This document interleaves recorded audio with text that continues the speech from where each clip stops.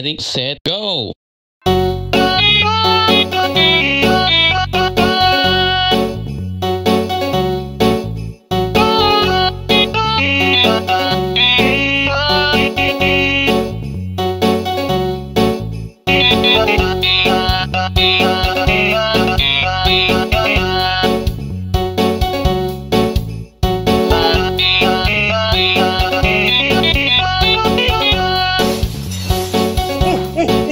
Oh!